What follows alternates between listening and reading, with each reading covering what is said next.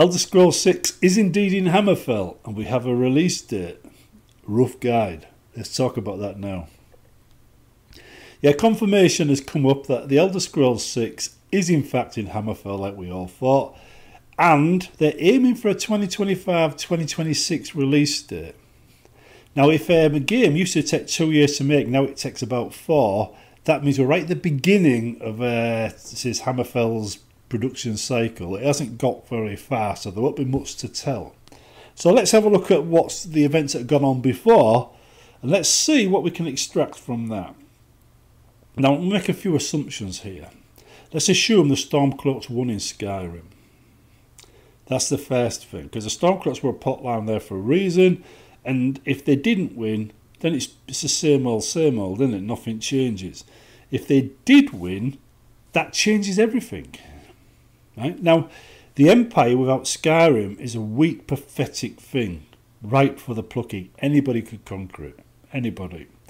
Skyrim itself was always strong on its own. Whether it's independent or part of Stormcloaks, it would remain strong. I reckon there would have uh, news would have come out eventually. You know that Ulfric had been um, manipulated by the uh, Thalmor, and he would have either declared war on the Thalmor, he'd have been overthrown, something along them lines. But we're not going to talk about that. We're going to talk about the fact that Skyrim is independent. It's led by the Stormcloaks. They're, they're the new rulers of Skyrim. The Empire is weak. It's got a weak king who's been, well, weak king, a weak leader who's been assassinated. They're waiting for a new new leader. Then we've got the Dragonborn. The Dragonborn, like like I explored the the content in, in Return to Helgen, he was he's really uh, the rightful ruler because he had the dragon blood. The dragon blood are really the rulers of Cyrodiil. So it could be that the Skyrim and the Empire were united under the new Dragonborn. Now, if that's the case, we might have a Morrowind style plot for Hammerfell. Hammerfell basically were abandoned by the Empire during the Skyrim period or the Great War. And um, veteran legionnaires joined the resistance Hammerfell and pushed the Thalmor out. But Hammerfell basically, you know, beat the Thalmor on their own, whereas the Empire just fought to a draw at most. Now, if you imagine a united Stormcloaks, you know, a Stormcloak of the Empire under, say, a Dragonborn leader, a new Empire, a new Emperor, and then Hammerfell, which is well known as a region for having a king on the top of every hill. So any hill, there's a new king there. There isn't any, isn't that really united, right? And then so along comes the Dragonborn, and he does a kind of Morrowind style thing where a creature, well, a man born from uncertain parents and uncertain time, blah blah, comes in and suddenly unites the whole country.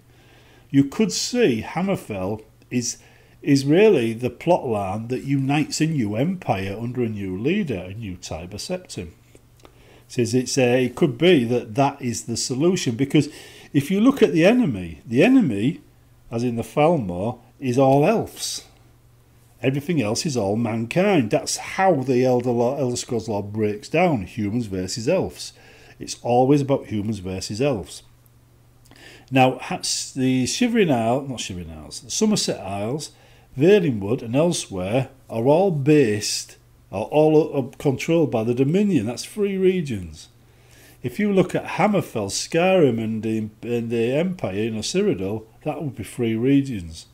Three regions versus three regions. That would bring the, the balance back. It, it, create a situation where the Thalmor couldn't just stomp across everything.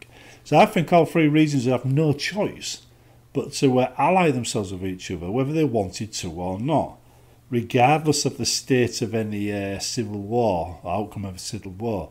But if the Dragonborn did rise to become more than just some random warrior that beat another Dragonborn and actually went on to lead Skyrim or even the Empire, then Hammerfell would be the next thing he'd want to bring into the Empire, or at least stabilise. And if that was the case, then the battle for what happens next happens in Hammerfell. Hammerfell is where all the interesting stuff will start to take place, and from that on, at the end of the Elder Scrolls 6, when they're planning the Elder Scrolls 7, we will hear the story being told in the next game, Elder Scrolls 7, about how these regions united against the Thalmor, and it'll move on from there.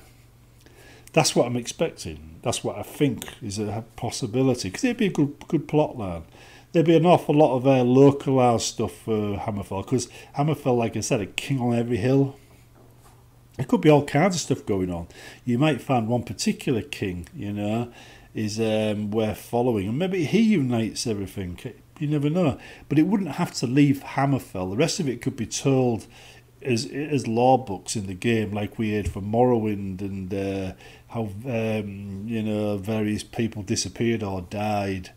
You know, the story doesn't have to be seen for us. It can be written down in a book, and we can see the rest of it meshing together. But anyway, that's just me talking. It's me theorising about the next game. But it'd be interesting if it does go that way, because if it does go that way, and we do end up with Hammerfell, a region which we don't really know that well, says that suddenly getting a ton of new lore, then the Redguard will be as deep and meaningful as the Nords and the Dark Elves are right now. And um, I've got I've got a video planned for Dark Elves. Explains why I like playing them, but anyway, what's what we need? Padding out because they don't they feel a bit shallow at the moment, and I think they need to be presented in a strong light in order to make them a playable faction that many people want to try. See you in the next one.